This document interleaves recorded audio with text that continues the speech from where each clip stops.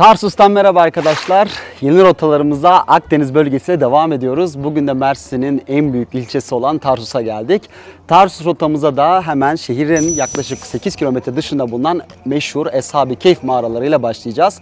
Burası hakkında önce şöyle bir bilgi vereyim. Türkiye'de daha doğrusu dünyada 33 tane bu mağaranın olduğuna inanılıyor ama 4 tanesi e, Afşin, Efes, e, Tarsus ve son zamanlarda Lice'de e, bu mağaranın olduğuna inanılıyor. Ama Tarsus'taki Türkiye'deki en meşhur mağara. Şu an dediğim gibi şehrin yaklaşık bir 8 kilometre dışında bir dağın eteklerinde bulunan yerdeyiz. Birazdan size biraz daha detayları anlatacağım. Milattan sonra 2. yüzyıl dönemlerinde tek tanrı dile inanmak isteyen ama kralın buna izin vermediği ve zulme uğratacağı 7 genç buraya kaçıyorlar ve bu mağarada 309 yıl boyunca saklanıyorlar arkadaşlar. Burada taş keserek uykuya dalıyorlar. Roma kralı onların buraya kaçtığını görünce mağaranın duvarını ördürüyor ve onları 309 yıl boyunca bu mağarada hapsediyor. Sonra yıllar sonra uyandıkları zaman bu mağaranın içine gelerek bu mağaradan çıkarak alışverişe şehir merkezine iniyorlar ve orada eski paraları kullandıkları için halk şüpheleniyor.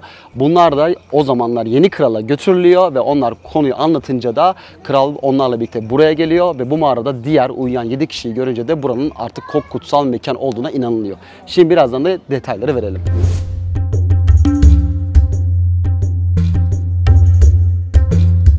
...300 metrekarelik bir mağaradan bahsediyoruz arkadaşlar. Burası gördüğünüz gibi işte hemen Sultan Abdülaziz'in yaptırdığı caminin altında bulunan meşhur Yedi Uyurların bulunduğu mağara. Şu anda biraz kalabalık içeriye girip öyle anlatacağım size. Ee, Kur'an-ı Kerim'de burası geçiyor. Hristiyanlar için çok önemli bir yer. O yüzden her iki din içinde kutsal bir mekandan bahsediyoruz arkadaşlar. Bakın şu anda aşağıda gördüğünüz kısımda işte bu Yedi Uyurların ee, 309 yıl boyunca kaldıkları yer arkadaşlar. Onun dışında dediğim gibi burası şu anda 3 ayrı bölümden oluşuyor. Böyle bir havalandırma var. Aşağı tarafta 12 basamaklı bir merdivenden sonra diğer bölümlere ulaşabiliyorsunuz. 3 bölümden bahsetmiştim. Az önce birinci bölümden geldik. Şu anda bu mağaraların arasında birbirini bağlayan bir sürü küçük tüneller de var. Aşağı kısmında da işte böyle biraz daha tehlikeli bir yoldan asıl saklandıkları kısımlara ulaşabiliyorsunuz. Onların uydukları kısımlara ulaşabiliyorsunuz. Aşağıda bir tane mağara daha var. Şu anda bakın bu mağarada bulunan, burada uyuyan 7 tane e, bu havari ya da işte bu Tanrı'ya inananların isimleri biraz zordu. Zar zor ezberleyebildik. Yemliha, Mekseline, Mislina, Mernuş, Zezenuş, Devranuş ve Ketey, Teşaffuş mu neydi öyle bir şeydi. Onların isimleriyle anlıyordu arkadaşlar. İşte onlar bu mağarada 309 yıl boyunca taş kesilerek uyuyakalmışlar. Hatta bazı inanışlara göre de 40 yıldan bahsediliyor ama genel olarak bu şekilde. Şu an içerisi biraz sıcak. Ee, yani havadan dolayı biraz basık bir yerdeyiz. Yani artık bence yeterli. Şöyle anlatalım. Artık artık diğer yerlere de geçelim. Diğer yerleri gösterelim. Buraya giriş bu arada ücretsiz. Ee, bunu da bilgilendirmek istedim. Şimdi yukarı tarafta görüşürüz.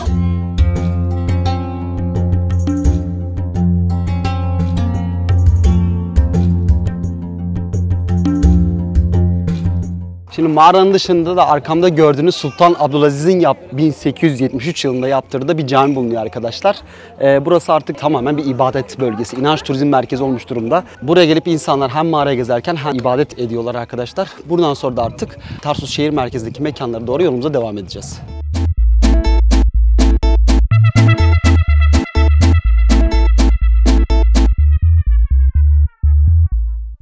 İkinci noktamız Tarsus ilçe merkezine çok yakın bir konumda bulunan Tarsus Şelalesi arkadaşlar. Ama aklınıza öyle benim daha önce tanıttığım o kocaman şelaleler gibi gelmesin. Mütevazi bir şelale 5 metreden bir yükseklikten akıyor. Burası aslında Roma döneminde ve Klikyalılar döneminde çok önemli bir e, bölge. Daha doğrusu zaten Mersin ve Tarsus genel olarak böyle bir bölge.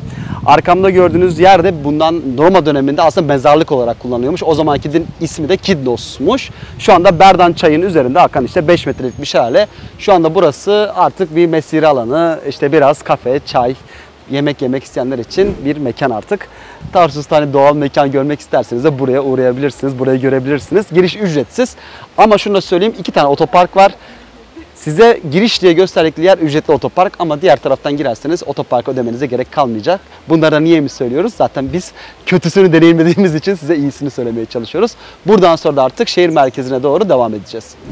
Ve Tarsus merkeze geldik arkadaşlar. Buradaki ilk yerimiz en önemli tarihi mekanlardan bir tanesi olan St. Paul Kilisesi arkadaşlar. Yani Aziz Paul Kilisesi. Burası Hristiyanlığı yayan ilk havarilerden olan Aziz Paul adını yaptırılmış tek kilise.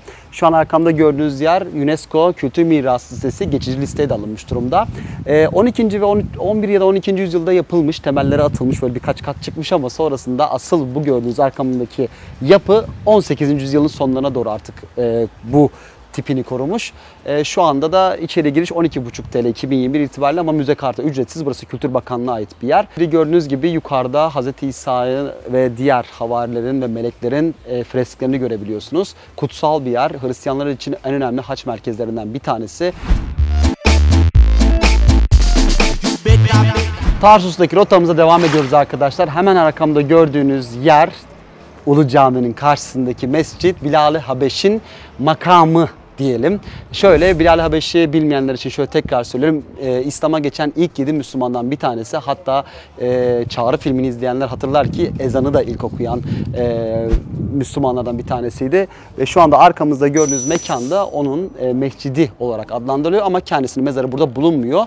Rivayete göre e, 21 günlük bir sürede bu civardaki bir misafirhanede kalmış. Sonrasında o misafir, misafirhane mescide dönüştürülerek bir nevi makam haline getirilmiş.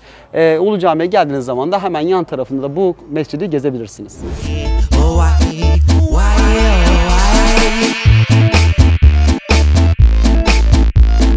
Şimdi hemen Ulu Cami'nin yan tarafında bulunan 40 kaşık bedestenine geldik arkadaşlar. Burası tipik bir Osmanlı e, eseri gibi görünebilir ama Ramazanoğlu Beyliği döneminde yaptırılmış bir eser. 1500'lü yıllardaydı yanılmıyorsam. Burası eskiden imarathane, çarşı olarak kullanılmış ayrı zamanda. O adının da 40 kaşık gelmesinin sebebi de bakın şu anda temsil olarak gösterilmiş ama şu arkamda gördüğünüz duvarın üzerindeki işaretler var. Burada da yine 40 kaşık varmış çevresinde aş evi olarak kullanıldığından dolayı. İçeride şu andaki tahmin edebileceğiniz üzere hediyelik eşyalar, buranın yöresel ürünleri satılıyor. Yani alışveriş yapabilmek için güzel bir nokta Tarsus'ta. Şimdi artık Ulu Cami'ye doğru devam edeceğiz.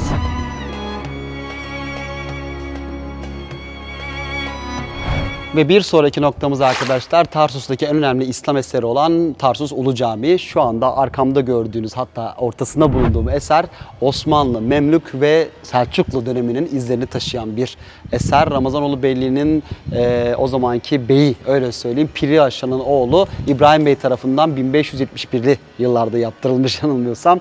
E, burası ilk cami olarak yapılmış.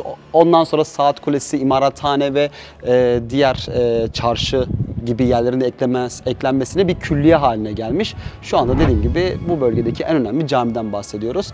Zaten bu az önce gösterdiğim Bedesten, St. Paul Kilisesi, Bilal-i türbesi hepsi birbirine çok yakın konumda bulunuyor. Aşağı yukarı zaten yarım saatlik bir yürüyüşte şu ana kadarki anlattığım yerleri görebiliyorsunuz. Şimdi artık diğer noktalara devam edeceğiz.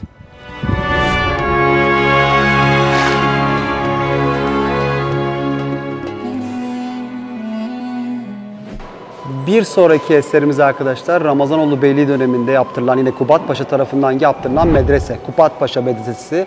Burası da yine Ulu Cami'nin 150 metrelik bir e, uzaklığında bulunuyor. İçeride de o döneme ait eserlerin, buradan üretilen eserler sergileniyor. Medreseyi zaten biliyorsunuzdur arkadaşlar. Eğitim, aslında şimdiki üniversitelerin o zamanki karşılıkları, eğitim yerleri. Şu anda içerisi güzel bir şekilde dizayn edilmiş ve canlandırmalarla bölgenin kültürüne ait öğeler sergileniyor. Durum bu şekilde arkadaşlar. Miracım güzel mi? Beğendin mi? Çömlek. Eski eski işte kapkacaklar. Düşer öyle yapma hadi gel. Şu anda bulunduğum yer Danyal peygamberin kabri arkadaşlar. Şu anda da bakın altımda gördüğünüz kısım onun mezarının parçaları. Bu alanda komple onun kabri varmış arkadaşlar. Hristiyanlar, Müslümanlar ve e, Museviler için kutsal kabul edilen ve peygamber olarak kabul edilen bir zat kendisi. Şu anda burası aslında birkaç sene önce harabe haldeyken gerçekten çok güzel bir şekilde restore edilmiş ve yürüyüş alanları yapılmış. Şu anda yine ücretsiz bir şekilde buraya gelip gezebiliyorsunuz. Biz de turumuza devam edeceğiz.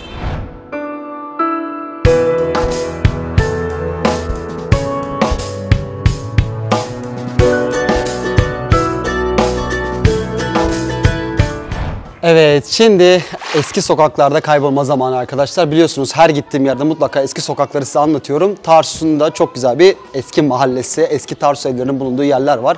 Şu anda bulunduğumuz mekanlar Ayla filminin de çekildiği sokaklar arkadaşlar. Bunu da belirtmek istiyorum size. Biliyorsunuz ki gerçekten muazzam bir filmdi. Ee, Tarsus inanılmaz eski bir geçmişe sahip. Romalılar döneminden başlıyor. Osmanlılardan, Selçuklulardan, Ramazanoğlu beyliklerinden birçok eski eserlere halen ev sahipliği yapıyor. Şu anda da bulunduğumuz yerde işte bu dönemden kalan insanların yaşadığı, evlerin de bulunduğu kısım çoğu restore edilmiş durumda ama restorasyonların devam ettiği de birçok ev halen burada mevcut. Burada butik oteller, restoranlar, kafeler hani Antep'teki Bey Mahallesi ya da Diyarbakır'daki İçkale gibi aynen konsepte sahip. Gelin damat çekimleri sürekli burada yapılıyor. Düğün çekimleri de burada çok yapılıyor. Ve fotoğrafçıların içinde gözde mekanlardan bir tanesi. Artık yavaş yavaş videomuzun sonuna geleceğiz. Şimdi de artık St. Paul kuyusuna doğru yolumuza devam ediyoruz. Şimdi arkadaşlar artık yeme içme zamanı. Biliyorsunuz size birçok mekanı anlattım. Azim Baba'ya geldik. Merhaba abi. Merhaba, hoş geldiniz. Ee, Tarsus'ta ne yenir önce bana bir söyler misin? Fındık lahmacun ve humus.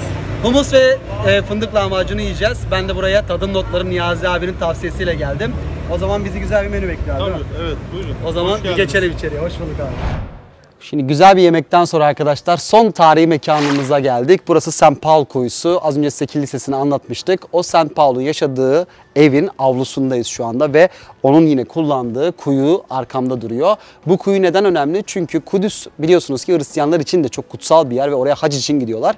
İşte hac için oraya giderlerken buraya uğrayıp burada da bu kuyudan da su içtikleri için yine Hristiyanlar açısından önemli bir noktadayız. Burası da kiliseden sonra birçok eee, Hristiyan ya da işte buraya gezmeye gelenler buraya da uğrayarak bu haç görevini bir nevi tamamlamış oluyorlar. E, burası da 2021 itibariyle e, 12,5 TL giriş ücreti var ama müze kartı da ücretsiz. Burada artık e, videomuzu noktalayacağız. E, Tarsus'ta dediğim gibi birçok mekanı size anlattım. Bunun dışında Nusret, Nusret Mayın gemisi biliyorsunuz ki tarihimizde çok önemli bir yeri olan bir gemiden bahsediyoruz. Nusret Mayın gemisi var, Roma kapısı var, daha sonra Kleopatra kapısı var. Onun dışında yine Roma antik yolu var, Roma harabeleri var, Roma hamamı var. Birçok mekan yine bu gördüğünüz çevrede mümkün. Ve gezimizi burada noktalıyoruz. Reşon the Way Instagram hesabında bundan önceki bütün gezilerimi bulabileceğiniz gibi bundan sonra da bütün gezileri görebileceksiniz. Bunları hikayeleri de sabitliyorum. Instagram hesabımda takip etmeyi unutmayın. Bundan sonraki rotamızda da görüşmek üzere. Bye.